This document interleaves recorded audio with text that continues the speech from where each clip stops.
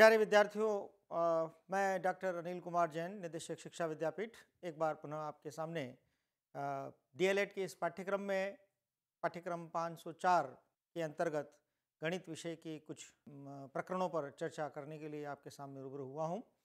इस एन के स्टूडियो में आपका तय दिल से स्वागत है। ये जो चर्चा हम आपके साथ कर रहे हैं, ये आपको अपने मस्तिष्क में निश्चित रूप से ये मानकर चलना है कि आप भी एक शिक्षक हैं। और ये चर्चा आपके साथ जो की जा रही है, ये शिक्षक जब कक्षा कक्ष में विद्यार्थियों के सामने जब शिक्षण करेगा तो किन विधाओं का इस्तेमाल करेगा, उस संदर्भ में की जा रही है, न कि इस गणित के मूल विषय वस्तु को समझने की की जा रही है। मूल विषय वस्तु तो आप शिक्षक के रूप में जानते हैं, लेकिन इस इस विषय वस्तु का प्रस्तुतिकरण आप कक्षा में विद्यार्थियों की आयु के अनुरूप, उनके मानसिक स्तर के अनुरूप किस रूप में करेंगे, उसको जानने की आवश्यकता है। इसीलिए ये चर्चा हम उसी रूप में करने की कोशिश कर रहे हैं।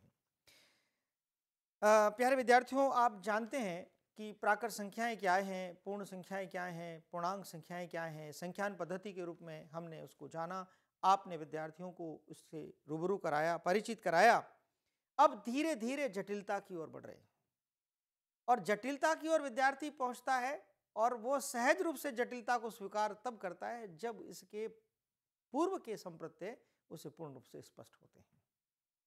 और पूर्व के संप्रत्यय नंबर सिस्टम को आपने उनसे अच्छी तरह से रूबरू कराया और बालक ने आत्मसात किया है तो अब जटिलता की ओर बढ़ने में उसे कोई परेशानी नहीं होगी। संख्याएँ गिनना उसने शुरू किया, संख्याओं का आदान प्रदान करना उसने शुरू किया, आदान को, आया को धन के रूप में, गया को ऋण के रूप में जाना, अब इन संख्याओं के साथ वह खेलना आरंभ करता है। कभी जोड़ता है, कभी घटाता है। अब ये जोड़ता है, घटाता है, दैनिक जीवन में इन शब्दों को वो काम में लेता है कि मैंने, मेरे पास इतने फल थे, मेरे दोस्त ने इतने फल मुझे दे दिए, इतने मेरे पास हो गए। मेरे पास दो पेंसिल थी, एक पेंसिल मैंने मेरे दोस्त को दे दी, अब मेरे पास इतनी रह गई। विद्यालय में आया नहीं है बालक। अपने माता पिता से चर्चाएँ कर रहा है, अपने खेल समूह में, अपने साथियों से चर्चाएँ कर रहा है और चर्चाओं में इन इन बिंदुओं को वह स्वयं प्रकट कर रहा है, लेकिन उसे पता नहीं है कि मैं इसे गणित की, इस विषय वस्तु की जो प्रकृति है, उसको भी ये जीवन में मैं काम में ले रहा हूँ। वहाँ से आरंभ कीजिए। बच्चा खेल में इन क्रियाओं को जो आरंभ करता है, वहाँ से आरंभ कीजिए और फिर उसको विषय वस्तु के मूल संप्रत्यय के साथ जोड़िए। निश्चित रूप से इन जटिलताओं को भी वह आत्मसात कर लेगा। इन जटिलताओं में गणित की चार मूलभूत संक्रियाएँ, योग, घटाव, जिसको व्यवकलन कहते हैं गुणा और भाग, ये गणित की चार मूलभूत संक्रियाएँ हैं। इन चार मूलभूत संक्रियाओं से ही पूरा जीवन चलता है। व्यक्ति को इन चार मूलभूत संक्रियाओं को हर परिस्थिति में कहीं ना कहीं जाने, अनजाने, प्रत्यक्ष, अप्रत्यक्ष रूप में काम में लेना होता है। अब आज हम इन चार मूलभूत संक्रियाओं में केवल दो मूलभूत संक्रियाओं को समझने की कोशिश करते हैं। कैसे बालक उसको उपयोग में करेगा, उसको समझने की कोशिश करते हैं।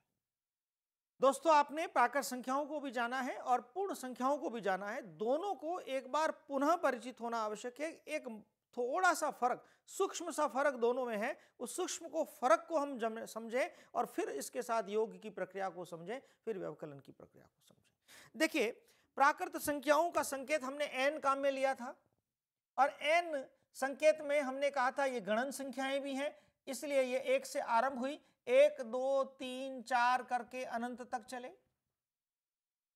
अब इसके बाद हमने पूर्ण संख्याओं की बात की तो पूर्ण संख्याओं में हमने आरंभ कहाँ से किया था? ज़ीरो से किया था। शून्य, एक, दो, तीन, चार और आप अनंत तक चले। अब बताइए दोनों में क्या फ़र्क है? पहचानिए। केवल शून्य का ही तो फ़र्क है। पूर्ण संख्याओं में एक शून्य है, अतिरिक्त है। तो प्राकृत और पूर्ण संख्याएँ दोनों में अगर हम योग की प्रक्रिया को एक साथ समझेंगे तो कोई अति, कोई उसमें समस्या आने की संभावना नहीं है। इसलिए अगर मैं ये कहता हूँ कि एक प्राकृत संख्या है और साथ ही साथ मैं ये कहूँ कि एक पूर्ण संख्या भी है। क्या मैं गलत कह रहा हूँ? नहीं। मैं चार को प्राकृत संख्या कहता हूँ, मेरा विद्यार्थी चार को पूर्ण संख्या कहता है तो आपका विद्यार्थी भी सही है और आप भी सही हैं। इसका तात्पर्य क्या हुआ?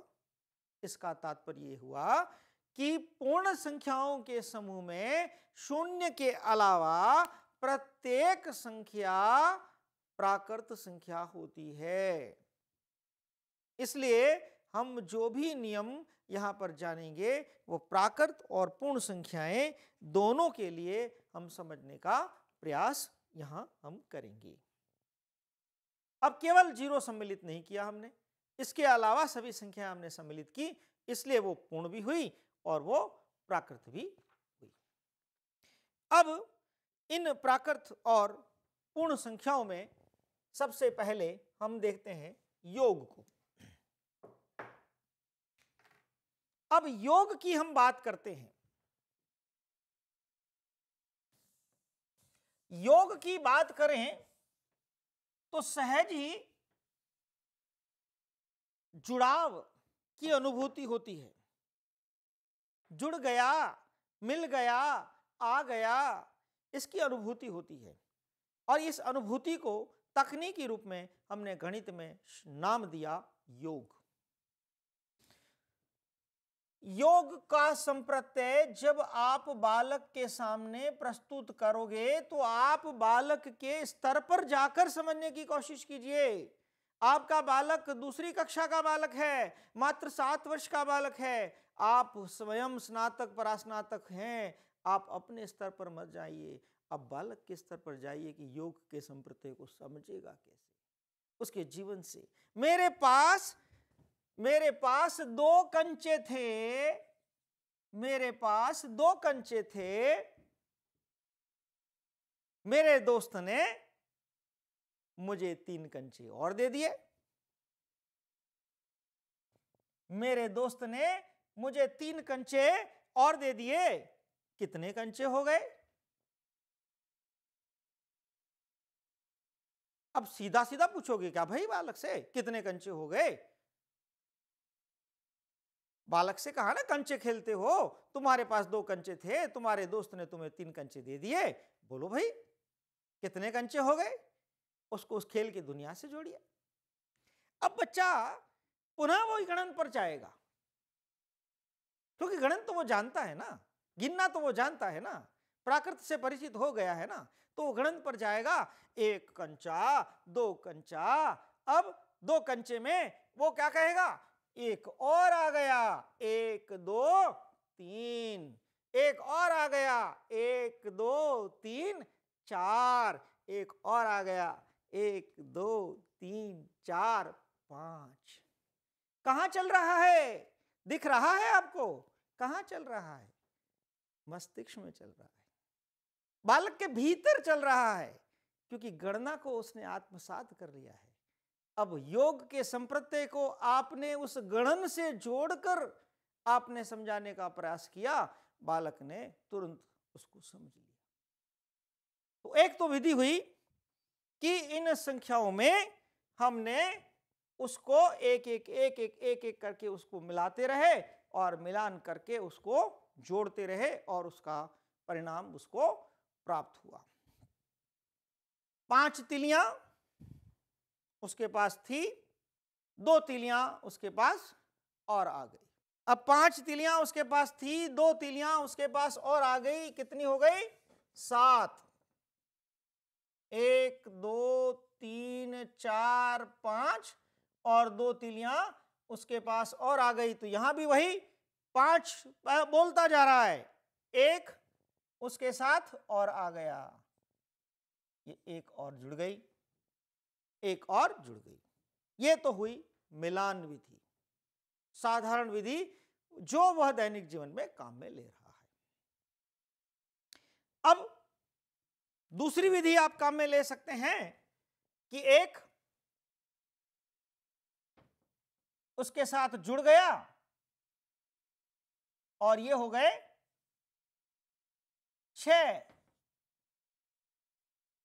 और छ का एक समूह बन गया और छह का समूह बनने के बाद एक उसके साथ और आया, एक समूह और बन गया और वह पूरा उसके साथ आकर बन गया सात।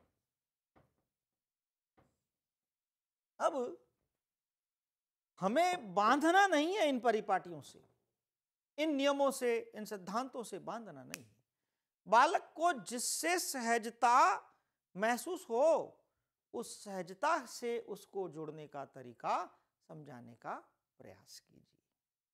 धीरे धीरे धीरे छोटी संख्याओं से होते होते वह बड़ी संख्याओं पर पहुँचने की कोशिश करेगा। आपने पाँच का समूह बनाया, एक साथ में लिया, छह का समूह बन गया। एक, छह का समूह बन गया। अब समूह बनाना सिखाया है तो जैसे ही आप कहोगे कि पाँच तिलियाँ हैं, अब सात तिलियाँ उसके पास और आ गई। सात तिलियाँ उसके पास और आ गई तो सात में से वो पाँच का एक समूह ले लेगा। तो पाँच का एक समूह और पाँच का एक समूह। और बालक तुरंत कहेगा, साहब, दस, क्योंकि पहले वो अभ्यास कर चुका है। अब दस, पाँच पाँच के दो समूह, दस और दो और आगे कितने हो गए? बालक तुरंत कह देगा, ग्यारह और इस तरह से समूह बनाकर धीरे धीरे धीरे धीरे वह बड़ी संख्याओं को जोड़ना भी आरंभ करना शुरू कर देता है और योग की इस प्रणाली से वो परिचित हो जाता है। अब जब योग की प्रणाली से हमने परिचित कराया है तो अब हमें इस योग के संदर्भ में कुछ नियमावली हैं, कुछ विशेषताएँ हैं, कुछ गुण हैं, उनको समझाने का प्रयास करना चाहिए। बच्चे को जब हम इन नियमों को समझाएँ तो नियम का नाम पहले बताने की आवश्यकता नहीं। प्रकृति समझाइए, गुण को समझाइए।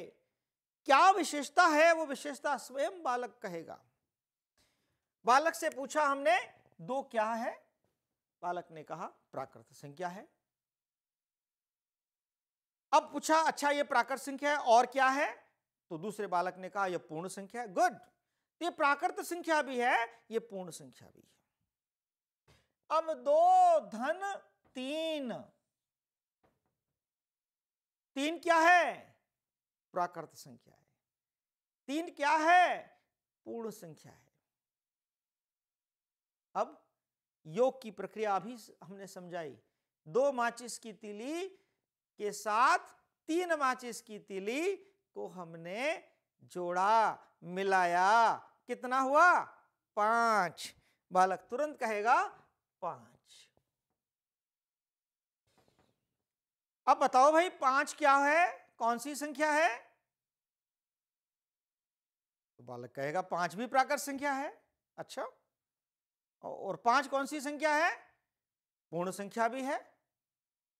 तो भाई एक प्राकृत संख्या में दूसरी प्राकृत संख्या को मिलाया और मिलाने पर जो योग किया, वो भी बोलो भाई बच्चों, वो भी कौन सी मिली? वो भी प्राकृत संख्या ही मिली। अब बच्चे से पूछो, नियम स्वतः कहेगा, दो प्राकृत संख्याओं का योग करें तो प्राप्त योग भी एक प्राकृत संख्या ही प्राप्त होती है।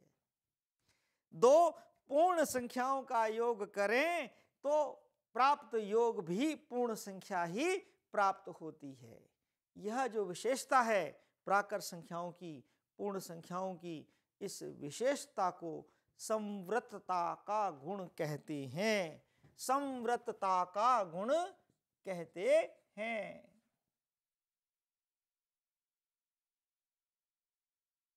अब आप पहले ही समृद्धता, भारी भरकम शब्द बालक के सामने कहते और कहते कि भाई हम समृद्धता को समझेंगे तो पहले ही उसके जहन में एक कठिनाई की अनुभूति होती।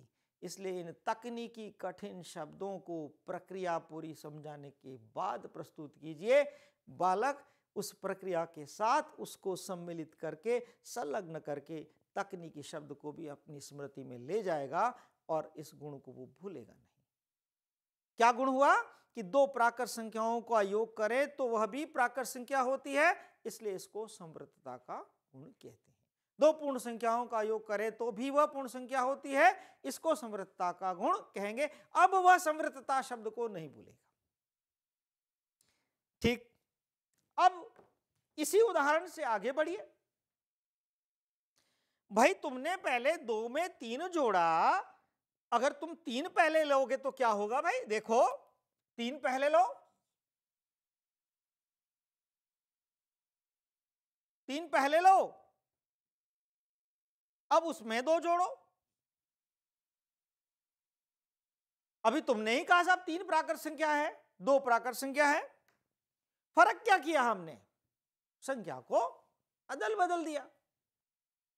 जिसको पहले लिया था उसको बाद में ले लिया, जिसको बाद में लिया था उसको पहले ले लिया।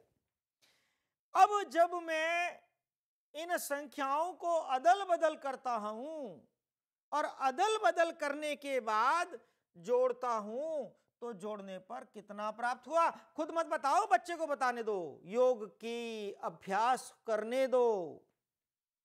फिर वही तीन तिलियाँ, दो तिलियाँ, बालक योग करके कहेगा, गुरुजी, ये भी पाँच प्राप्त हुआ। अब ये भी पाँच प्राप्त हुआ तो अब ये क्या नई परिस्थिति आ गई भाई? तो बच्चा अपनी भाषा में बोलेगा, गुरुजी, दो संख्याओं को अदल बदल दे तो भी जोड़ में कोई फ़र्क नहीं पड़ता। दो संख्याओं को अदल बदल दें तो जोड़ में भी कोई फ़र्क नहीं पड़ता। ये अदल बदल साधारण भाषा का शब्द है। तो नियम क्या बना? संख्याओं के स्थान को परिवर्तित कर दिया जाए तो योग भी समान रहता है और वो अगर दोनों संख्याएँ प्राकृत संख्याएँ हैं तो योग भी प्राकृत होगा। दोनों संख्याएँ पूर्ण संख्या हैं तो योग भी पूर्ण संख्या होगी। इस तरह से ये जो नियम कहलाता है, अदल बदल वाला नियम, अदलने बदलने से जोड़ में परिवर्तन नहीं हुआ, परिणाम में परिवर्तन नहीं हुआ, इसका नाम तकनीकी नाम क्रम विनिमय गुणधर्म कहलाता है। क्रम विनिमय गुणधर्म। क्रम विनिमय गुण। अब जब गुण की बात कर रहे हैं, विशेषता की बात कर रहे हैं तो हमें बताना पड़ेगा भाई।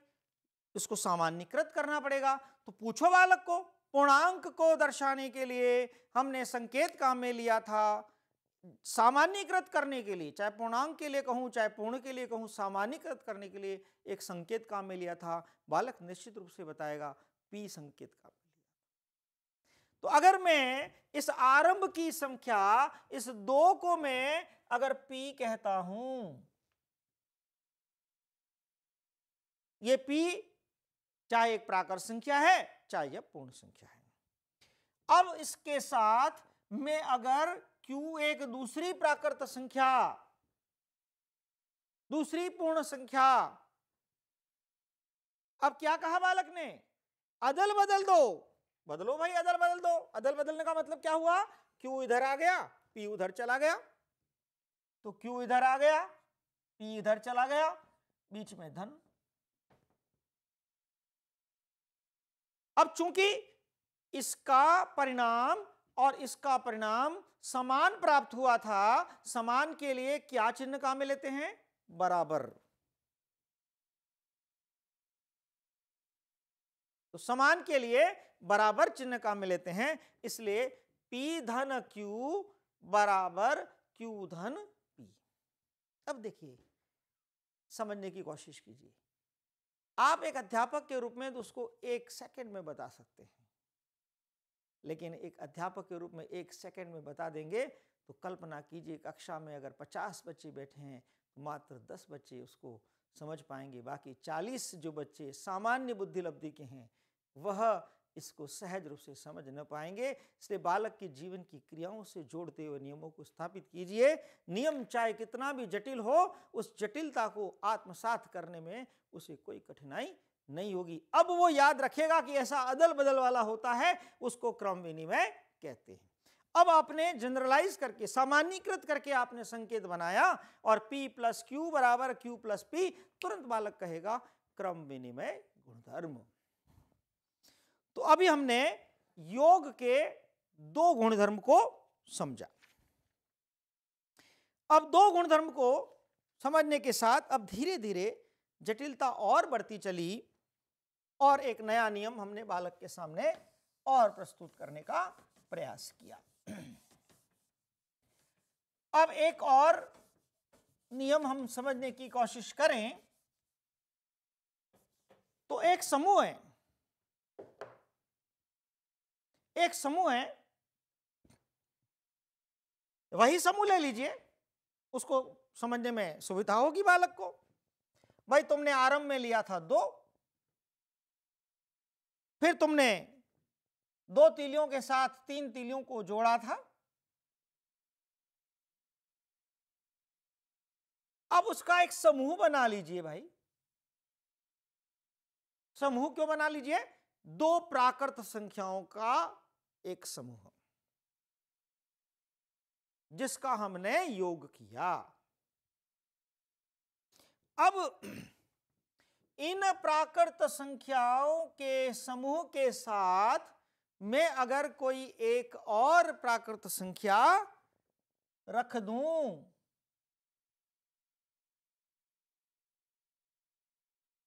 क्या होगा? बालक को सोचने दीजिए क्या होगा। क्रिया को बालक को करने दीजिए। दो धन तीन, इस क्रिया को अभी क्रम विनिमय के गुण के साथ बालक कर चुका है। दो धन तीन, कितना हुआ? पाँच, इस क्रिया को अभी कर चुका है। अब इसके साथ धन चार। अब मात्र संख्याएँ बदली। प्रक्रिया वही है। तरीका वही है। अब दो तिलियों में, तीन तिलियों को बालक ने जोड़ा था, पाँच तिलियों में चार तिलियों को भी वह जोड़ेगा।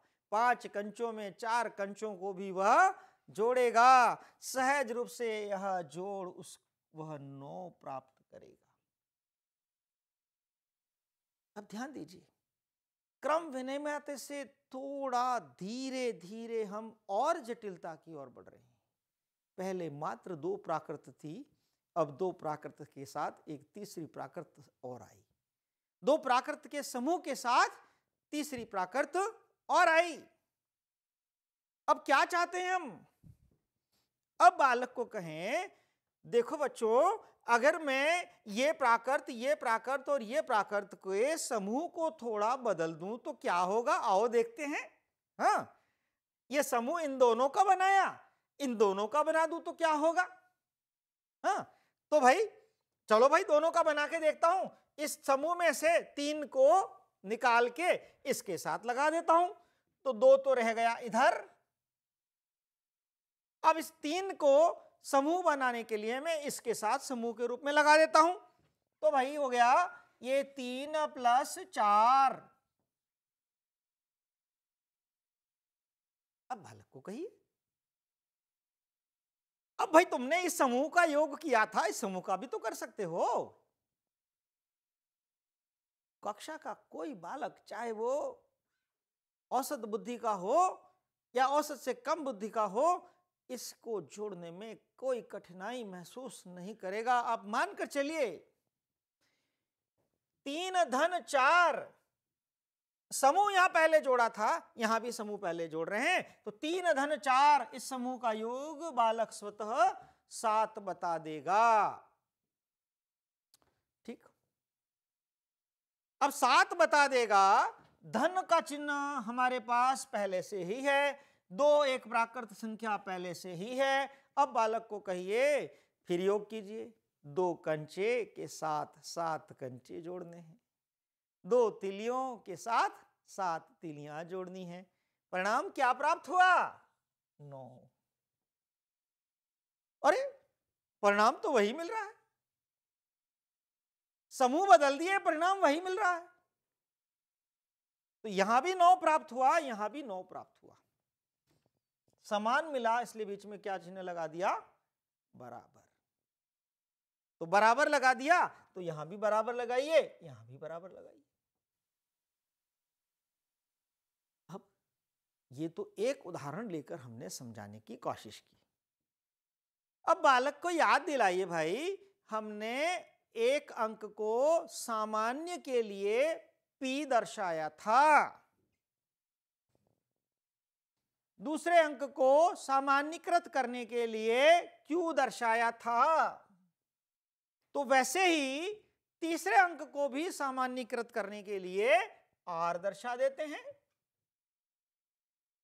बीच में धन का धन चिन्ह वैसे ही लगाइए। यहाँ धन का चिन्ह वैसे ही लगाइए। बराबर का चिन्ह वैसे ही लगाइए।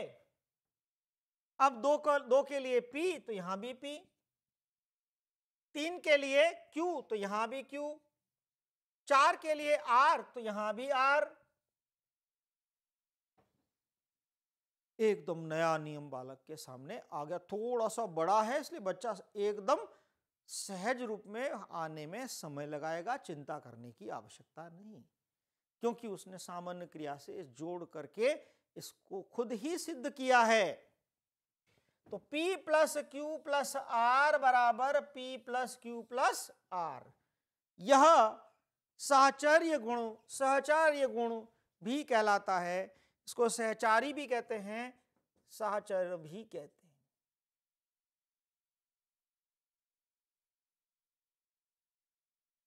अब पूर्ण संख्याओं में, जैसे दो एक पूर्ण संख्या है, इसमें अगर मैं शून्य को जोड़ूं तो परिणाम भी दो ही प्राप्त हो रहा है। पाँच में शून्य जोड़ूं तो परिणाम भी पाँच ही मिल रहा है। तीन में शून्य जोड़ूं तो परिणाम भी तीन ही मिल रहा है। यानी कि एक ऐसा अंक जो मुझे परिणाम वही देता है, उसको योज्य तस्म कहते हैं। उसको योज्य तस्मक कहते हैं। ये नया तकनीकी शब्द बालक में के पास आया, यानी कि शून्य पूर्ण संख्याओं के लिए योज्य तस्मक कहलाता है। अब योग की क्रिया के ठीक विपरीत क्रिया व्यवकलन की है। और अगर योग करना वो ठीक समझ रहा है तो व्यवकलन को समझने में कोई कठिनाई नहीं, एक क्षण तुरंत वह व्यवकलन को समझ लेगा। व्यवकलन मतलब हटाना। व्यवकलन का मतलब निकालना, कम करना। ये दैनिक जीवन में जो काम में ले रहा है, मेरे पास तीन रोटियाँ थी। तीन रोटियों में से एक रोटी मैंने खा ली, दो रोटी मेरे पास बची। ये एक हट गया, एक हट गया, ये दो रहा। जो घट गया, हट गया, चला गया, ये व्यवकलन है। तो दैनिक जीवन में ये प्रक्रिया और इस व्यवकलन के लिए हमने चिन्ह काम में लिया ऋण माइनस। तीन रोटी थी, तीन रोटी में से एक हट गई हट गई, घट गई, कम हो गई, ऋण का चिन्ह काम में लिया और इस तरह से क्या प्राप्त हुआ? दो प्राप्त हुआ। अब ये तीन एक दो पूर्ण संख्याएँ भी हैं, ये तीन एक दो प्राकृत संख्याएँ भी हैं, इसलिए प्राकृत और पूर्ण दोनों के लिए यह व्यवकलन की प्रक्रिया समान ही रहती है। इस तरह से हमने इन प्राकृत और पूर्ण संख्याओं को, की योग की क्रिया को, व्यवकलन की क्रिया को, और योग से संबंधित जितने भी गुणधर्म हैं, उन सारे गुणधर्मों को हमने बालक के जीवन के साथ जोड़कर समझने का प्रयास किया है। और जब तक बालक की दिन प्रतिदिन की क्रियाओं के साथ हम जोड़कर इन जटिल शब्दों को परिचित नहीं कराएँगे तब तक जटिल शब्दों को वो आत्मसात नहीं करेगा वह रटेगा। और हम गणित को रटाना नहीं चाहते गणित रटने का विषय नहीं है, है? संवृतता। बोलने में हमें ही कठिन लग रहा है तो बालक कैसे सहज होगा? लेकिन हमने उसकी जीवन की क्रिया के साथ जोड़कर संवृतता को समझाया। इस तरह से अगर आप क्रियाओं को पहले लेंगे, जीवन को पहले लेंगे और फिर तकनीकी शब्दों का प्रयोग करेंगे तो कोई भी परिस्थिति हो, बालक सहज रूप से हर नए तकनीकी शब्द को सहज रूप से स्वीकार करेगा। इस प्रकार योग और व्यवकलन को हमने समझने का प्रयास किया। आशा करता हूँ कि आप अपनी कक्षा में विद्यार्थियों को भी इसी रूप में और अच्छे नए तरीके से समझाने का प्रयास करेंगे। धन्यवाद।